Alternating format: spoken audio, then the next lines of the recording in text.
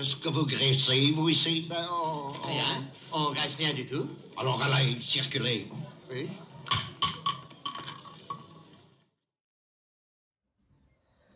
Allez, bah si eux, ils graissent rien du tout, euh, moi ce soir, je vais graisser mes cardans. Ou en tout cas, euh, je vais les remplir de graisse. Voilà. Alors, ben ça y est, la graisse que j'attendais est arrivée. c'est de la graisse de, chez Renault en ballotin de 180 grammes. Voilà, elle coûte pas très cher. Et je tenais vraiment à mettre cette graisse-là à l'intérieur de mes cardans. je peux expliquer rapidement. Moi, je voulais pas mettre la graisse qu'ils vendent dans les, dans les kits soufflets euh, de réparation parce que je trouve déjà, un, que les sachets sont beaucoup trop petits. Euh, pour moi, il n'y en a pas assez pour remplir euh, de, la quantité nécessaire dans un soufflet. Et puis de deux, c'est une graisse qui est noire souvent, qui est très épaisse, très collante. Et bah là, je suis clairement dans mes croyances. C'est que je, pense que des graisses comme ça sont pas adaptées. Peut-être que je me trompe, mais en tout cas, je, tenais à ce que ce soit cette graisse-là dans, dans les cardans. Voilà. Euh, bah, je ne vais pas spécialement me filmer euh, ou faire un timelapse de, euh, de ce remontage de cardan, mais je vais m'arrêter régulièrement puis vous dire un petit peu où j'en suis. Allez, c'est parti, on y va.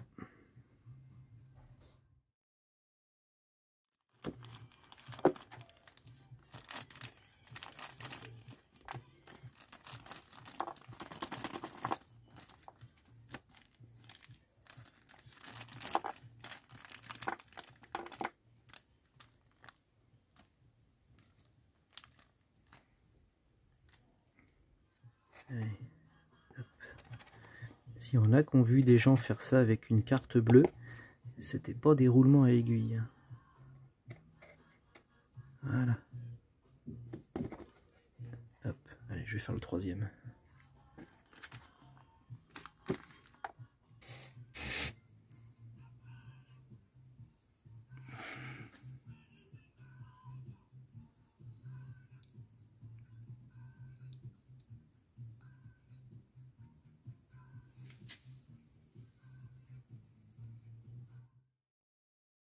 Je vais faire le troisième. J'aurais pas cru, mais c'est vachement long de les remettre un par un dans ce logement là. Alors vous voyez cette graisse de cardan comme elle est, moi je l'aime beaucoup parce que voilà, elle est, elle est blanche, elle est, elle est assez, euh, assez, enfin liquide. Elle est bien pâteuse en fait, tout comme, euh, tout comme il faut bien quoi. Voilà. Je graisse le tour, un petit peu pour que les, pour que les roulements à aiguille y collent, et puis voilà.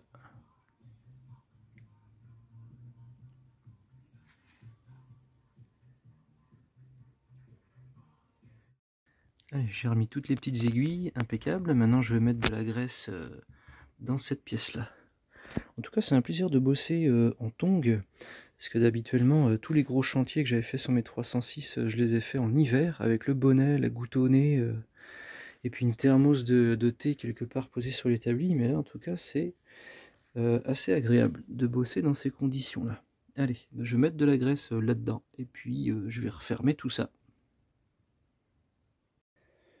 Bon, allez, j'ai refermé le, premier côté. Euh, j'ai longtemps hésité jusqu'à où faire arriver mon soufflet sur cette partie-là. Euh, je, l'avais fait arriver euh, plus en arrière, ça ne me convenait pas. Et donc pour compenser, bah, je l'ai fait aller par là. En fait, hein, celui-ci, je l'avais... On voit la démarcation là. Voilà. Donc du coup, pour éviter qu'il s'étire trop, je l'ai un petit peu poussé vers la gauche. Voilà, donc là je pense que je suis, suis pas trop mal. Même si j'aurais aimé le faire arriver vraiment jusqu'au bord. Bref. Allez, bah l'autre côté ça va être beaucoup plus simple parce que là il y a, une, réelle démarcation. On la, voit bien, elle est très claire. Donc euh, voilà, le soufflet lui est encore un peu plus grand, donc euh, ça va être euh, plus facile. donc voilà, lui il est rempli. Et puis je vais lui mettre le reste de mon ballotin à l'intérieur du soufflet. Voilà voilà, et eh ben c'est tout refermé et puis ben, je trouve que ça, ça coulisse et ça tourne euh, parfaitement bien, sans, sans forcer. Voilà. Il a meilleure mine euh, comme ça celui-là. Euh, c'est à gauche, donc c'est dans ce sens-là. Voilà. Allez, eh ben, je vais faire l'autre qui est juste à côté. Bon, et eh ben ça se passe pas trop mal pour le deuxième là J'ai improvisé ça dans un bloc de polystyrène et puis ça tient bien. Voilà, je peux bosser euh, comme il faut. Donc j'ai remis toutes les petites aiguilles voilà, sur le deuxième cardan, donc celui de droite. J'ai mis un peu de, graisse dans cette partie-là, un petit peu d'autre dans le, dans le soufflet là. J'adore cette graisse là. Cette couleur là, la texture qu'elle a. Voilà, moi j'aime bien. Allez, et eh ben, je vais euh, refermer ce côté là déjà. Allez, euh, quand on referme un cardan, on emprisonne toujours un peu d'air à l'intérieur du soufflet. Euh, c'est pas vraiment problématique, mais euh, il y a une petite parade. Donc ça le fait surtout sur les, petits soufflets, donc celui-ci là, au niveau du palier, et puis celui-ci sur le, sur le cardan gauche, côté boîte. Sur, les grands ici, ça, ça, le fait moins, là et là. donc en fait, à l'intérieur de cette pièce-là, il y a, y a, un ressort. Je ne sais pas si on va arriver à voir, mais vous voyez, c'est il y a un ressort comme ça. Quand je le pousse, comme ça.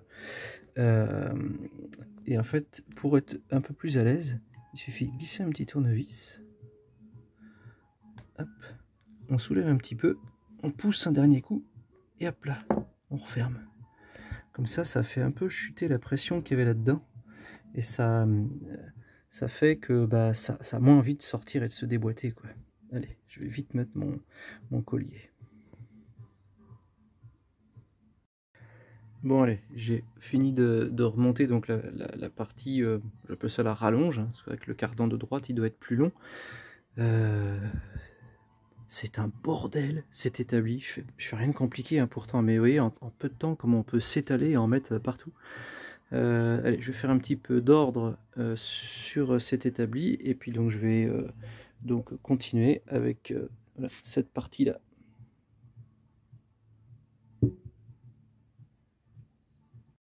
Voilà, allez, c'est un petit peu mieux euh, avec, les choses rangées. Euh, plusieurs fois, euh, lorsque j'entreprends quelque chose, moi je range mes outils. Même si je vais devoir m'en resservir derrière, c'est une manière de dire, allez, j'ai terminé mon premier cardan, j'attaque le deuxième, je refais comme si je, démarrais mes, mes, travaux. ça peut paraître strict, inutile ou chiant. ça m'amuse pas non plus parfois de le faire, mais pour moi c'est un bon moyen de dire, allez, hop, on recommence de zéro. Je moi, ça me permet de faire du, boulot appliqué euh, plus longtemps. En tout cas, plutôt que d'en entasser partout, là, de machin, de puce à en ligne, mettre des sachets de graisse vide, machin. Non, moi je fais, je débarrasse, je jette, je remets et je recommence. Voilà, je travaille comme ça. Voilà. Allez, euh, bah là je vais euh, faire un, tout petit trou dans l'angle ici pour, me, pour pouvoir aller injecter le, machin tout profond dans le, dans le bidule. Graisse, ça va rouiller. Graisse, ça.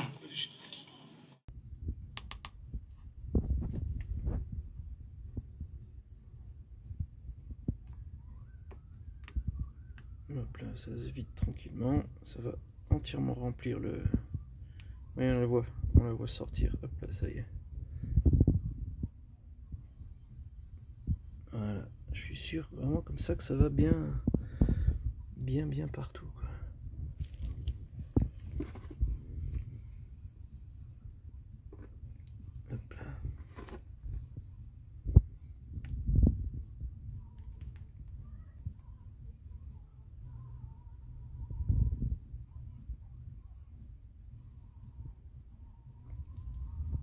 Je vais mettre le reste là-dedans.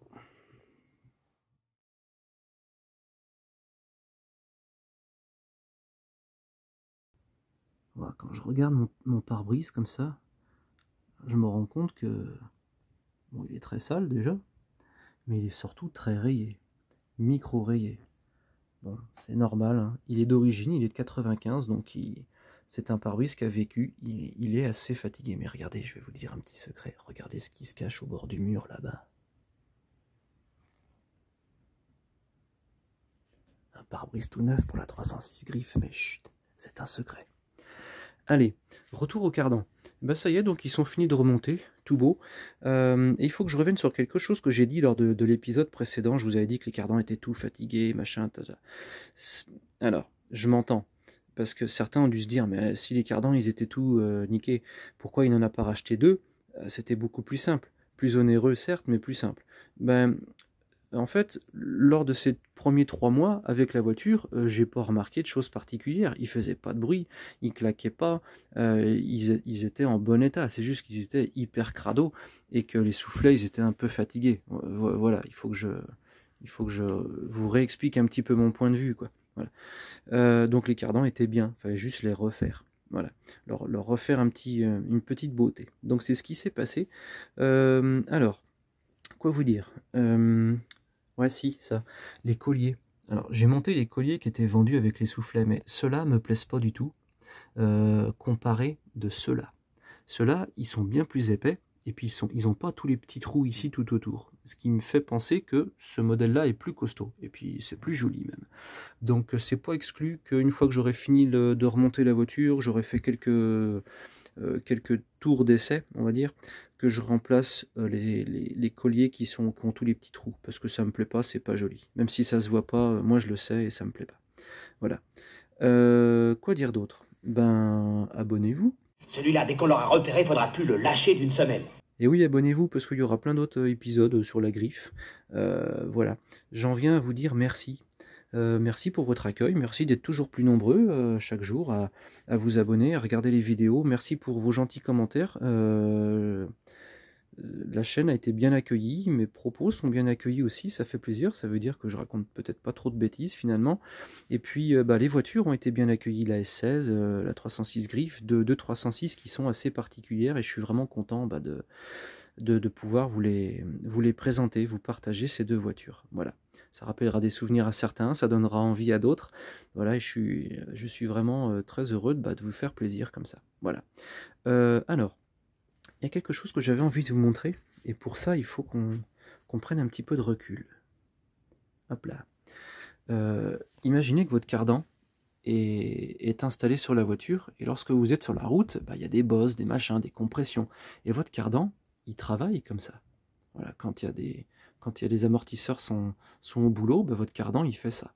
J'exagère un petit peu dans, l'amplitude, mais, mais voilà, il fait ça. En même temps, il faut s'imaginer que votre cardan, il tourne sur lui-même, parce que vous avancez. Voilà. Et si on veut aller encore un peu plus loin, avec votre volant de direction, vous pouvez décider de vous rendre à droite ou à gauche. À sinistre À sinistre T'as entendu Il a des sinistres ça veut dire à gauche. Tourne à gauche. Ah bon?